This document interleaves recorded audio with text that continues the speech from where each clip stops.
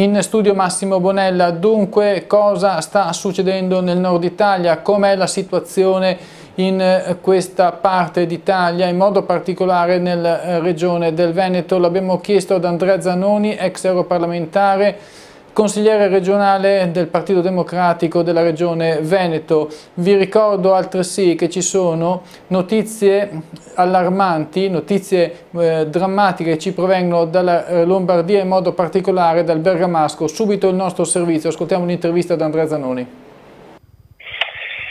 Diciamo che la situazione sta evolvendo di ora in ora, eh, è una emergenza alla quale nessuno era preparato diciamo che ci sono ancora situazioni di carenza di, di, di mascherine, da quello che so anche negli ospedali è diventato un prodotto introvabile. Oggi leggevo di spedizioni che arrivano dalla Cina, di, di appunto associazioni locali che ci vengono e anche governative che ci vengono in soccorso. E diciamo che è difficile eh, anche effettuare i controlli, ho visto che ci sono centinaia di controlli in atto da parte delle autorità per quanto riguarda il rispetto delle disposizioni eh, del decreto del Presidente del Consiglio dei Ministri sulla limitazione dei movimenti.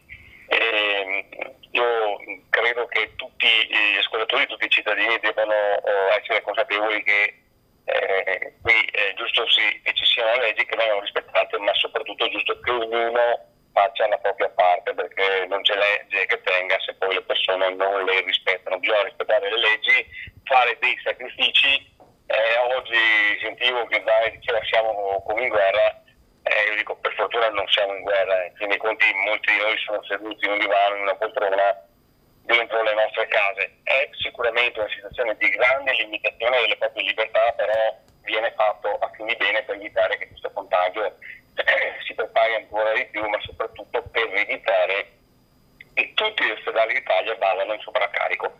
Eh, notizie terribili oggi arrivano dalla provincia da Bergamo, dove addirittura eh, hanno esaurito i posti a disposizione eh, nelle, nelle camere eh, ehm, diciamo che eh, raccolgono eh, le salme e hanno degli obitori, hanno tutti gli obitori eh, esauriti e quindi stanno riempendo le chiese, insomma, quindi figuriamoci negli sovraccarico degli ospedali è una cosa deleteria perché portano ai medici a fare anche delle scelte drammatiche, tragiche, perché eh, naturalmente i posti di terapia intensiva sono quelli che sono.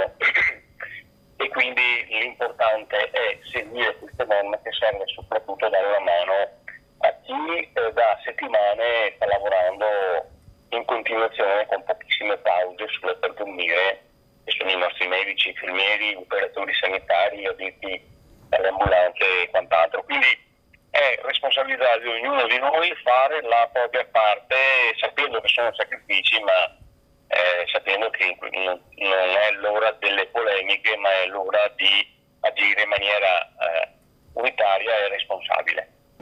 Riprendiamo da studio, ringrazio Andrea Zanoni, ex europarlamentare, consigliere regionale Partito Democratico della Regione Veneto.